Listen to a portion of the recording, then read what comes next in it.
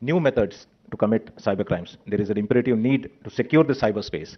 Since all these crimes are new age, all the stakeholders such as the government, law enforcement, industry, civil society, academia needs to collaborate and work in tandem.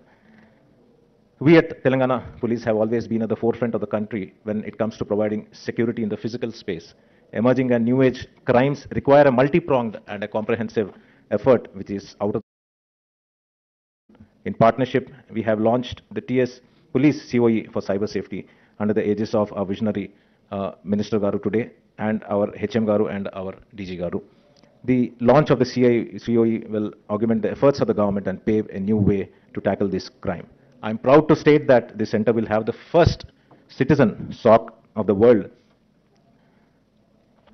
and it is the first of its kind which will provide real-time services and solutions to many problems that the citizens and the industry face.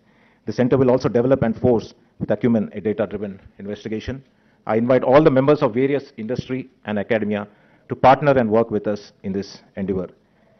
So we have formed a team at COU to effectively handle the ongoing cybercrime investigation through the ops unit. Also, we have proactively hunting for cybercrime criminals with a data-driven and evidence-based approach through the TAC team.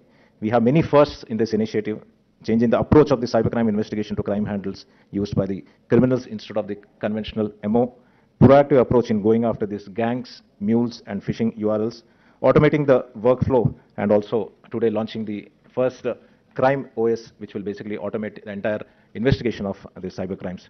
We are proud of the work processes and um, uh, which is data driven and it is continuing evolving. This is just a beginning and uh, we look forward for a more active participation from each and every one of the stakeholders towards a common goal of mitigating cyber crimes. We are not, no, we are not just trying to build an institution, we are augmenting an active ecosystem of Telangana state towards a cyber, safe cyberspace. Thank you.